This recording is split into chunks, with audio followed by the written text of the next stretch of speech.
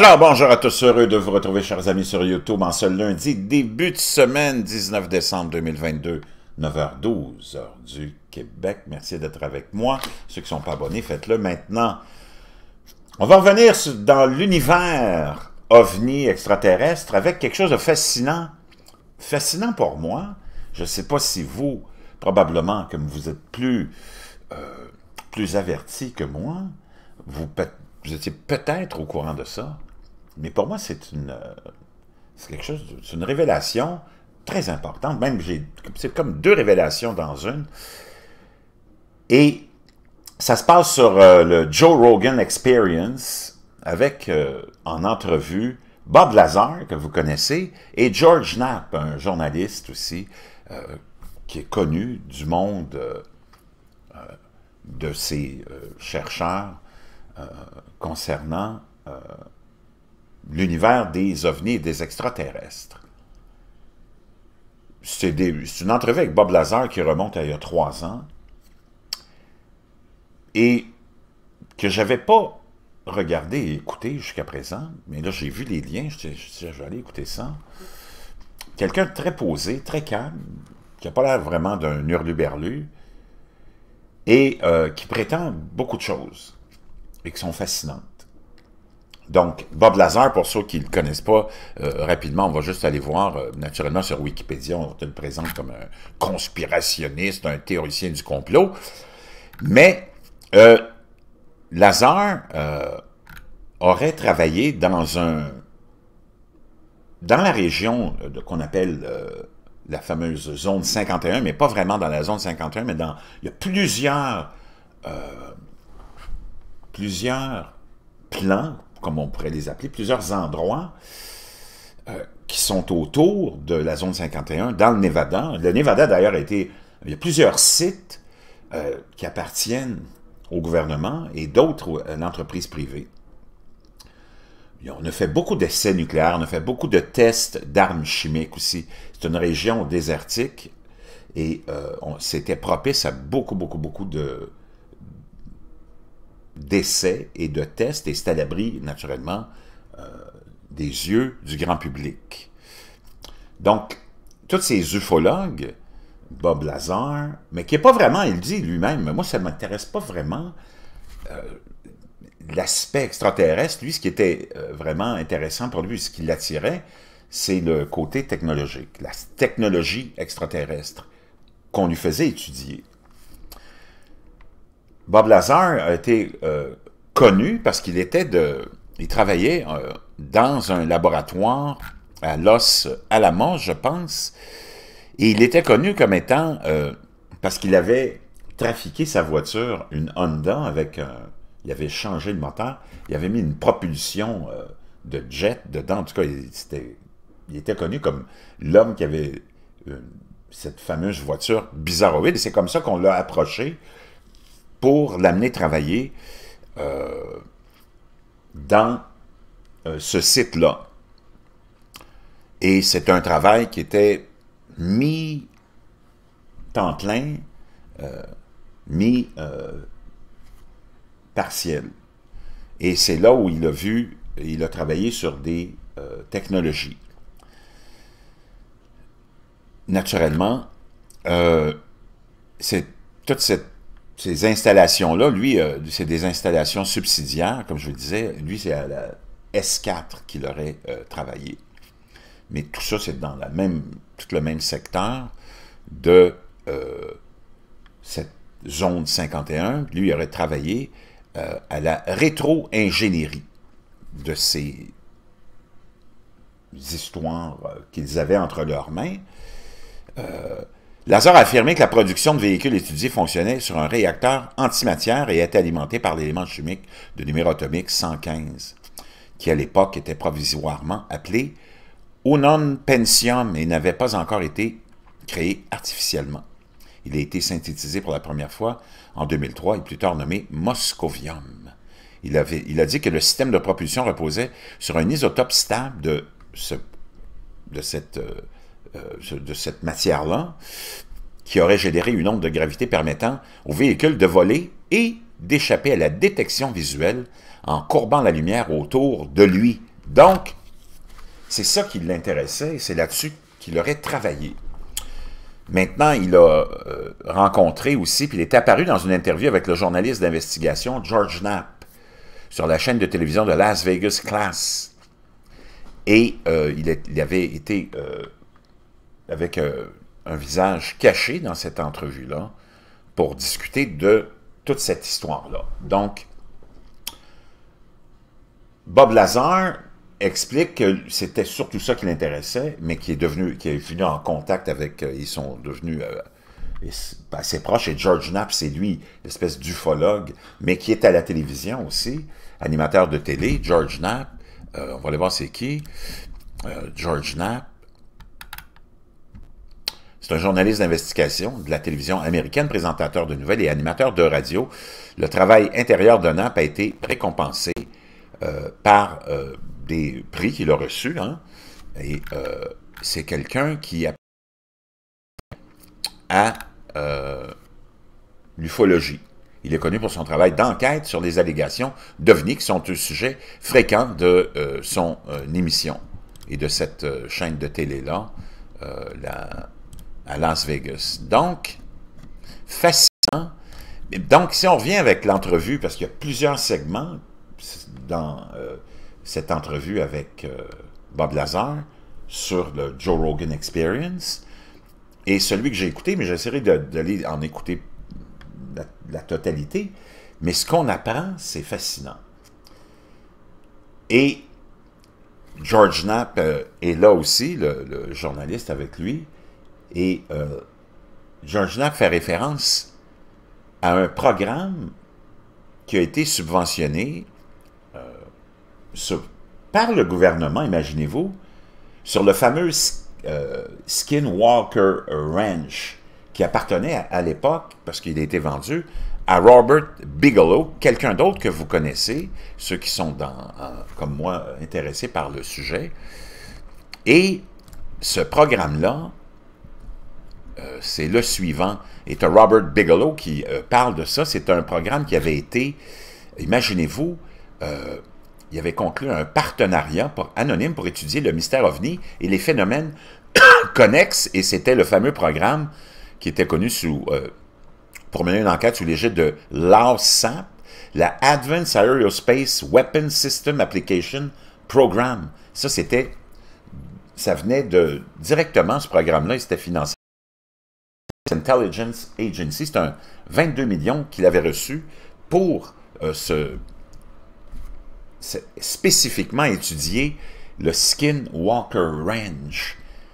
Parce que l'impulsion du programme s'était produite un an plus tôt lorsqu'un scientifique senior de la fameuse DIA, la Defense Intelligence Agency, avait visité le Skinwalker Ranch et avait fait une rencontre très inhabituelle avec une intelligence inconnue. Le, scientifique est retourné à Washington, a rencontré les sénateurs américains Harry Reid, euh, Daniel Inouye et Ted Stevens et a proposé la création d'une étude spéciale et classifiée des ovnis et des phénomènes connexes. Les trois législateurs ont accepté de parrainer un tel programme et ont obtenu 22 millions de dollars pour le financer. Et c'est là que le programme euh, est né. Wow! Donc imaginez-vous, donc, Bigelow et son équipe ont embauché des dizaines d'enquêteurs, des scientifiques et personnels de soutien qui sont mis au travail avec l'intention de créer une énorme base de données composée d'enquêtes originales ainsi que de fichiers euh, OVNI glanés dans d'autres pays parmi les cas étudiés par ce, euh, ce programme-là. Euh, il y a la fameuse célèbre désormais rencontre de ce qu'on appelle la fameuse rencontre de Tic Tac de 2004 au large des côtes de la Californie du Sud. Donc, je vous laisserai ça dans la boîte de description. Je ne vais pas aller trop loin là-dedans parce que je voulais plus m'arrêter sur euh, les deux révélations qui sont très importantes. La première, c'est qu'on pourrait tous penser, puis on a pensé, puis on continue peut-être à penser que tout ce qui concerne la technologie OVNI, les découvertes OVNI et tout ce qui tourne autour du matériel qu'on pourrait avoir en notre possession, c'est pas entre les mains du gouvernement américain, par exemple si on parle des États-Unis, mais c'est entre les mains de l'entreprise privée. Parce que Bigelow, euh, pas Bigelow, mais euh, George Knapp et Bob Lazar expliquent que le problème, et pourquoi c'est pas entre les mains du gouvernement, c'est que les gouvernements, il y a beaucoup trop de fuites là-dedans. C'est vraiment... Euh, c'est une espèce de gros système de plomberie tout perforé. Il n'y a rien qui garde. Il n'y a rien qui peut être gardé secret. On le voit au niveau politique, puis à d'autres niveaux, les fuites que tu peux avoir avec la quantité de fonctionnaires qu'il y a là-dedans, tu n'as aucun contrôle. Donc, c'est plein, plein de fuites, hein, des leaks. Donc, dans l'entreprise privée, c'est beaucoup plus discipliné. Et c'est l'entreprise privée qui est en possession de tout ce matériel, et il y en a du matériel. Croyez-moi, selon, euh, selon même Bigelow aussi, mais selon euh, George Knapp et Bob Lazar. Et l'autre révélation qui est extraordinairement fascinante, et Lazare l'explique dans, cette euh, partie de cette entrevue, euh, dont le titre est Bob Lazar says UFOs was an archaeological finding. Mais je vais vous laisser ce lien-là, mais il y en a plein parce qu'il les a mis en segment, cette entrevue-là, parce que c'est long. On apprend, et euh, Lazare explique que ce que l'entreprise privée a entre ses mains, il y en a plusieurs, ça a été des découvertes archéologiques. Et il dit pas des découvertes archéologiques euh, vieilles, mais anciennes. Donc, c'est fascinant. Donc, ça fait longtemps. Est-ce que la Terre, c'est une base extraterrestre? Je ne sais pas. On peut aller dans toutes sortes de directions. Mais de savoir, puis lui, il en a vu, parce qu'il a travaillé sur ce projet-là, d'apprendre que c'est des découvertes archéologiques.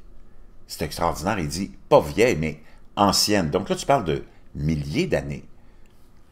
Ça, je pense que moi, j'avais pas vraiment euh, eu vent de ça ou pensé à ça. Sûrement que, comme vous êtes plus averti que moi, vous le saviez peut-être, mais c'est extraordinairement fascinant de savoir que ça, c'est ce que l'entreprise privée a, et c'est l'entreprise privée qui l'a, tout ce matériel, parce que ça ne pourrait pas être entre les mains des gouvernements, mais tu as des secteurs de certains secteurs qui sont très fermés euh, du gouvernement, comme des services de renseignement, où pas vraiment de il n'y a pas vraiment de fuite, à moins qu'on le veuille faire une fuite, là, qui sont peut-être associés à ça, mais c'est l'entreprise privée qui est en possession de ça. On pourrait présumer que c'est l'entreprise aérospatiale, peut-être le complexe militaro-industriel privé aussi. Et il fait référence aussi à une autre discussion euh, qui a eu lieu euh, et qui confirme un peu l'espèce d'affirmation que c'est entre l'entreprise privée et c'est un document, il fait référence à un document qu'on appelle le Wilson Leak ou le Wilson... Euh, c'est plutôt, il s'appelle le Wilson Leak, dans lequel on la qualifie de fuite d'OVNI du siècle. C'est un document de 15 pages. Et euh, Richard Dolan, il y, a, des fuites incontrôlées qui se produisent et je mentionnerai très rapidement quelque chose que je considère et que j'ai appelé la fuite d'OVNI du siècle. Et ceci est une fuite de 15 pages de notes, soi-disant, mais on est convaincu, on est, George Knapp nous dit, je vous confirme que ce document-là est vrai, par ses sources. Et je pense sincèrement que le docteur Eric Davis, anciennement du National Institute of Discovery Science, maintenant associé euh, au Dr. Hal Putloff et travaillant avec Two the Stars, euh, a euh, dit la vérité. Et on l'appelle aussi le Wilson Memo, ou le Wilson Leak. Ce sont des notes qu'il a prises, je crois, en 2002, après une rencontre avec l'ancien amiral Thomas R. Wilson, qui avait été chef du renseignement pour les chefs d'état-major dans les années 90. Et dans ses notes, l'amiral Wilson parle au Dr. Davis de sa découverte d'un programme profondément classifié pour étudier la technologie extraterrestre Et bien qu'il semblait être légalement autorisé à avoir une autorité réglementaire sur elle, l'accès lui aurait été refusé à cet admiral-là. Il était frustré. Il dit, c'est moi, je devrais être sur ce programme-là, à travailler sur ce programme-là. On lui a refusé l'accès. Et ceci est une série de notes très détaillées. Il ne fait aucun doute que c'est authentique, nous dit-il, l'auteur de cette euh, nouvelle-là.